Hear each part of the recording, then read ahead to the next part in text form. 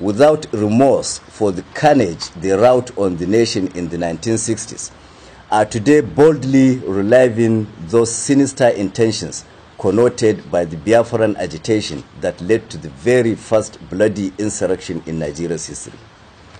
B.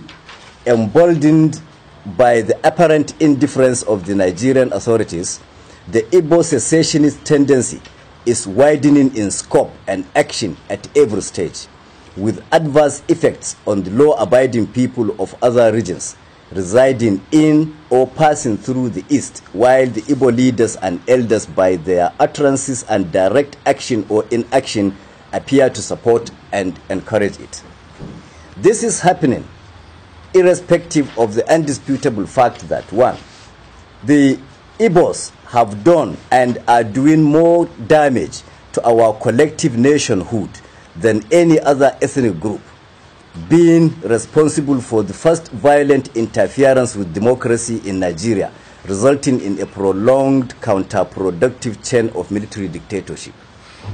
Two, the Igbos similarly orchestrated the first and so far the only civil war in Nigeria that consumed millions of lives and sowed the seed of the current mutual suspicion and distrust.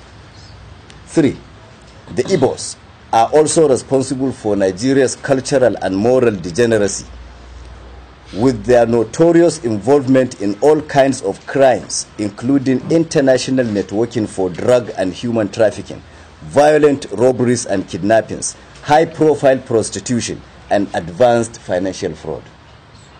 Four, at the peak of the devastating Boko Haram violence in some parts of the north, available records show that the Igbo people have variously been apprehended while attempting to convey caches of dangerous arms and ammunition to the troubled regions. Five, there are today sufficient reasons to suspect that some Igbos masquerade as Fulani herdsmen to commit violent atrocities across the country in order to cause and spread ethnic disaffection.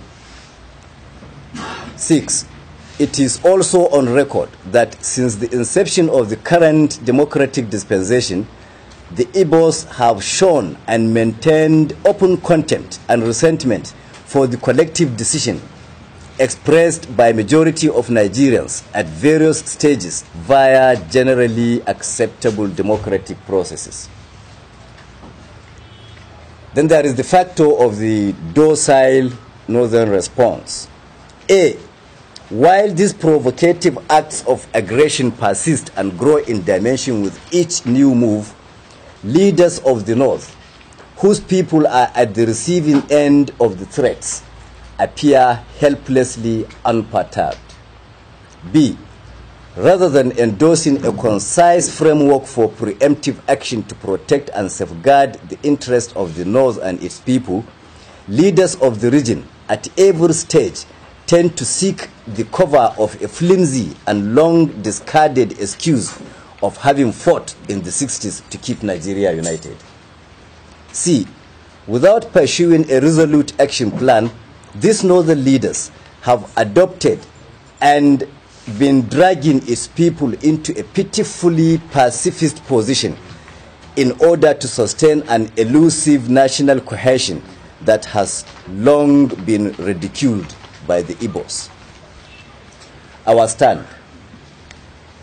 One, from today, June the 6th, 2017, when this proclamation is signed, the North, a critical player in the Nigerian project, hereby declares that it will no longer be disposed to coexisting with the Igbos and shall take definite steps to end the partnership by pulling out of the current federal arrangement.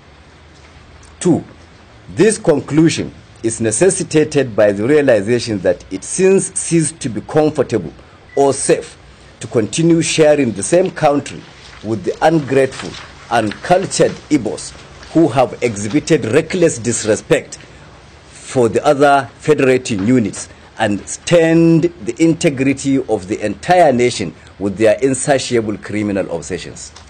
Three, rather than certain sections holding the whole country to ransom at every stage, each should be allowed to go its own way, as we categorically proclaim today that the North is fed up with being the same country with this pack of acrimonious Igbo partners. Four, the North hereby openly calls on the authorities and other national and international stakeholders to acknowledge this declaration by taking steps to facilitate the final dissolution of this hopeless union that has never been convenient to any of the parties. Prelude to final separation. One, recovery and control of landed property. As a first step, since the Igbo have clearly abused the unreciprocated hospitality that gave them unrestricted access to and ownership of landed properties all over the north, our first major move shall be to reclaim, assume, and assert sole ownership and control of these landed resources currently owned, rented, or in any way enjoyed by the ingrate Igbos in any part of northern Nigeria. Consequently, officials of the signatory groups to this declaration are already mandated to commence immediate inventory of all properties, spaces, or activity in the north currently occupied by the Igbos for, for future at the expiration of the ultimatum contained in this declaration.